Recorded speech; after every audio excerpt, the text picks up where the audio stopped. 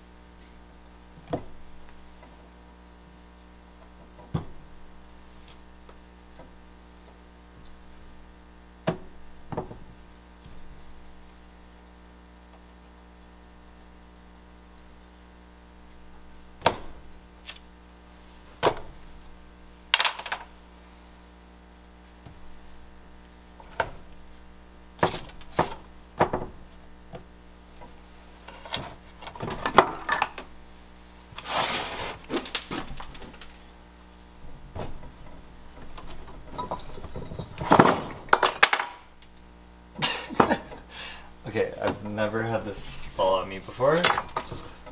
Whoops.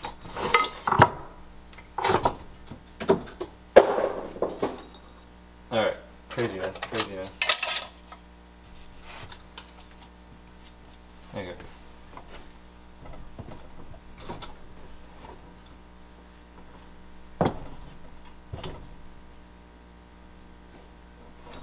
I think I'm realizing that my table's bowed because I'm letting it get wet a little bit.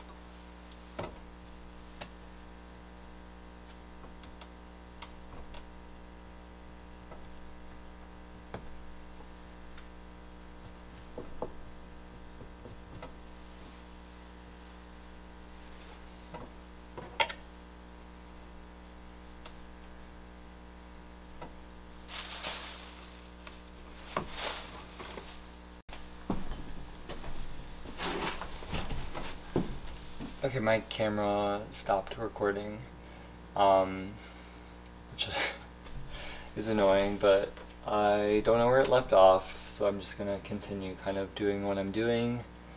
This time I'll check my camera every now and then to make sure it's recording, but I'm on my fifth plant pot that I'm starting to make. Um, I'm very zoned in, so I'm not really, again, trying to talk too much, but I'm just gonna keep working.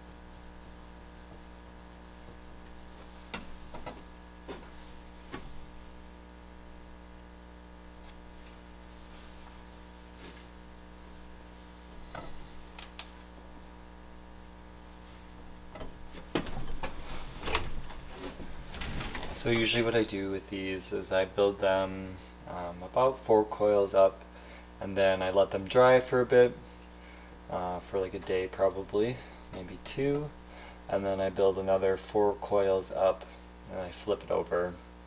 Um, otherwise, when I flip it over, the walls start to compress or bow um, because the clay is just not dry enough and I think I might stop here for today and then I will come back and continue these projects another day and not let them be like the other ones where I just kind of let them all dry out. Um, it's just hard to balance working a full-time job and doing pottery. There's just so many steps so if you can't make it in a day or two um, and you don't have it properly wrapped up, these projects will just kind of be ruined. So I'm kind of getting my stuff all sorted and then that way I can start making more of these plant pots and then hopefully these will be on my website in the future. So if you did stick around for this long video, thank you. And if you didn't, um, why did I say and if you didn't? I guess like if you didn't, no hard feelings, like have a great life. Um, anyways, I hope you have a great rest of your day today and I will see you in another video.